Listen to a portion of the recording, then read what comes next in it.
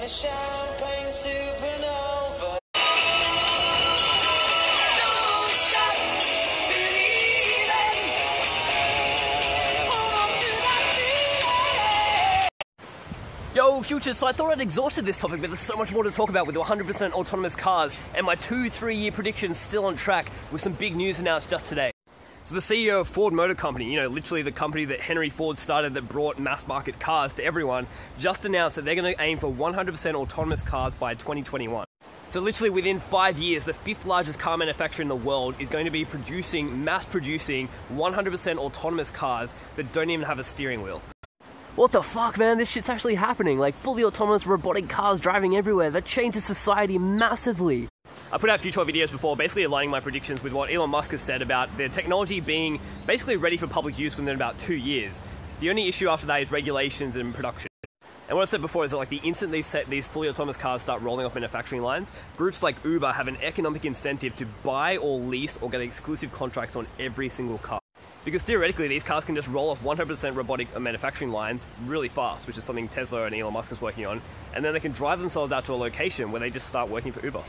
Because if you remove the driver from the equation, then you suddenly reduce the cost by at least a tenth, um, which means that Uber can start offering rides to you that are cheaper than owning your own car by a long shot. And if we just look at Uber alone, like not only is there an economic incentive for them to own or lease or exclusively control as many cars as possible, there's also the competitive advantage because everyone else is planning to do the same thing.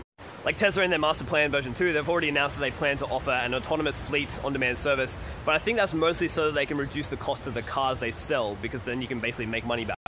But I think the, the ultimate winner of this entire thing will be the group that controls the largest fleet of self driving autonomous cars, and I think that's still going to end up being Uber. So Uber can either like lease or buy or have exclusive contracts with every single manufacturer of every self-driving car. They will pay a premium for as many cars as they can get their hands on. As a downside to this, um, I love the idea of decentralization of cars literally owning themselves. Um, and there's a group called Arcade City which is doing a great job of a decentralized Uber. But if Uber actually controls all the cars either via leasing or they own them, then it's very hard to decentralize that company because they essentially own all those assets, which is kind of like a reversal on their model so far. And this is why I predicted within about two to three years, like autonomous self-driving cars will be completely abundant. Like pretty much in every city, you'll be able to get around anywhere through an autonomous Uber. You won't need to own a car anymore. Now, the only bottleneck to this prediction is the speed at which you can produce self-driving electric cars. Because sure, you can retrofit and upgrade combustion engine cars, but it's much easier and much more beneficial to have all electric cars. Okay, so not too long ago, I actually ran the numbers. So there are 1.2 billion uh, combustion engine cars on the planet, and only 1 million electric cars. So how do we replace them as quick as possible? Well, you can go look up this stat. So 95% of the time, cars basically sit there idle. They're like a giant chunk of wasted metal just sitting there waiting 95% of the time. well, obviously, like 100% autonomous electric cars would be constantly in use. They'd be working for Uber or Lyft or one of those services, constantly driving people around at all times. So if you calculate that from, say, pure 100% efficiency, it means that we only need 60 million self-driving electric cars to replace the 1.2 billion cars that we currently have on the planet. In addition to that, at the moment, we currently produce 60 million new cars per year. But again, you, you run the same maths on that. What's 5% of 60 million? 3 million. So you need 3 million new cars each year. So 60 million cars and then 3 million per year. That sounds like a lot, but that's like very, very tiny amount to basically have all electric, clean, 100% autonomous transport for everyone. So the Tesla Gigafactory 1 actually plans to be producing 1.5 million all-electric autonomous cars by 2020. So that's already half of your annual production requirement to get to this goal. But like I said, Ford Motor Company just announced today that they plan to mass produce self driving, fully autonomous cars by 2021. And they're the fifth largest car manufacturer by volume in the world. Now, those top five companies, which is uh, Toyota, GM, Volkswagen, Hyundai, and Ford, between them they produce a combination of 40 million, roughly 40 million cars per year. Now, have a think about the very simple business game theory at play and the economic incentives at play when suddenly you can actually access self driving cars on demand for a tenth the cost of owning a car.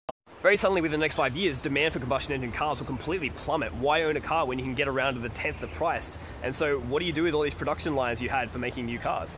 And so you would think that from a company perspective, the incentive here would be for all the large car manufacturers to instantly switch over to producing all 100% autonomous electric cars that they can lease or sell at wholesale. And the moment that happens, you basically only need two years to get to that 60 million car level. Um, so it's like it's just going to happen. Side thought, what all these cars actually need to do, regardless of the manufacturer or the service or whatever, is they all need to share their data, their machine learning data, to improve themselves.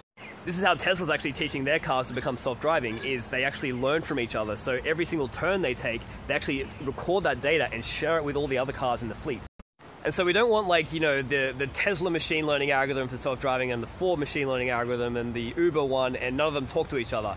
For safety purposes, they need to all talk to each other. So I do hope that all these car manufacturers and services actually all form some type of partnership where they actually share all their data because you really want every single self-driving car on the planet to be learning from each other and improving. It'll be interesting if we see a buyback program from governments and different companies to actually get all of the old non-self-driving cars, the dangerous ones, off the road.